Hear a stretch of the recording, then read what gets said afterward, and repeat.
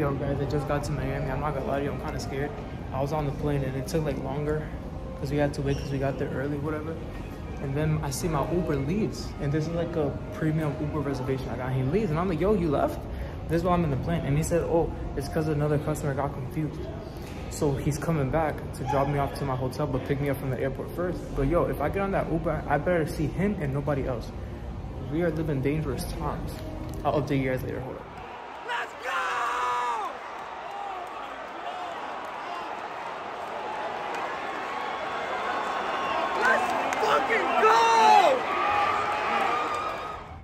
My hair right now is crazy. My hair right now is crazy. That's not the point.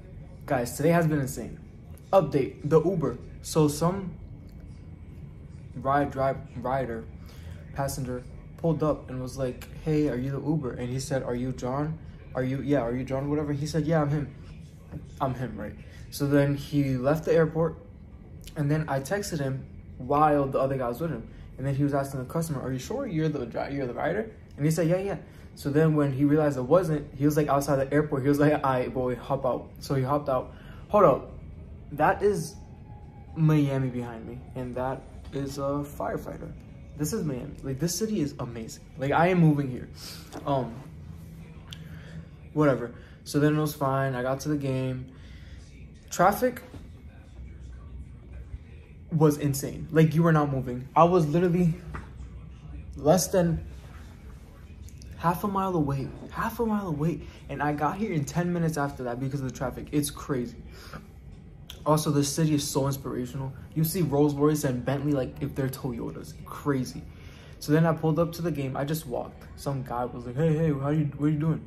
When I was walking, I was like, hell no, this is not what we're doing. So then I did.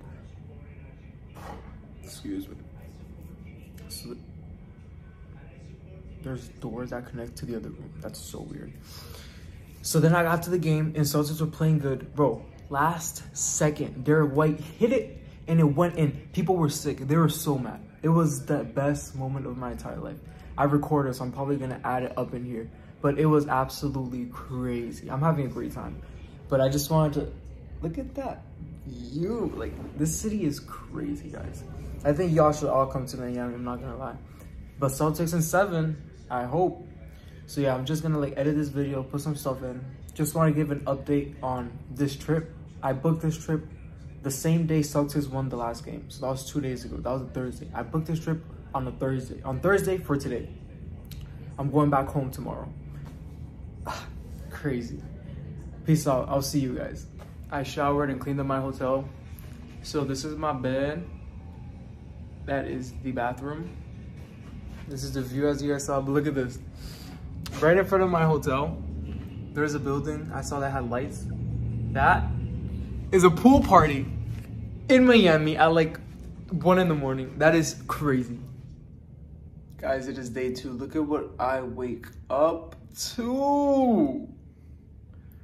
That right there, yeah, that's the pool party I told you guys about. Oh wait, yeah, that's a pool party. Crazy.